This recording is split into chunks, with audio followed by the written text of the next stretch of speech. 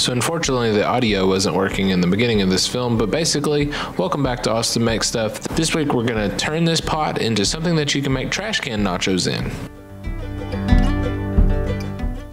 Check it out.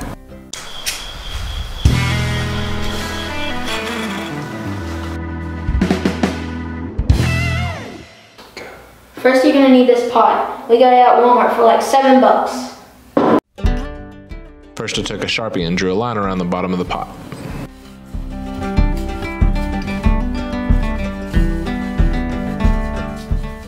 I use this as a guide for my jigsaw. First I had to make a hole in the pan for my jigsaw, so I used a hammer and an old chisel.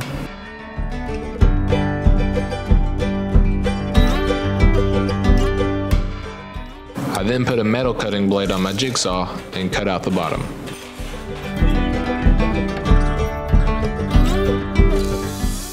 I highly recommend eye protection as well as ear protection because this was really loud. Luckily I had a set for me and a set for my nephew.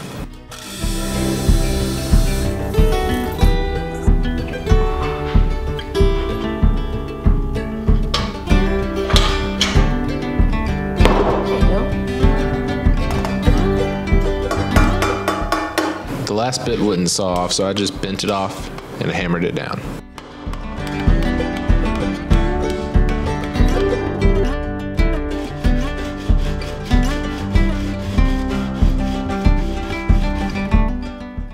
I then came back with some sandpaper and sanded off the burrs on the edges as you can see here.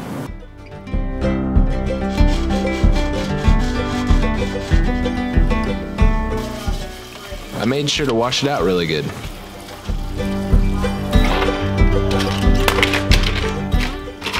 Now you can make your nachos however you want, but around here we use homemade tortilla chips, refried beans, some street taco fajita meat, and some cheese, and of course we throw a little cilantro in too.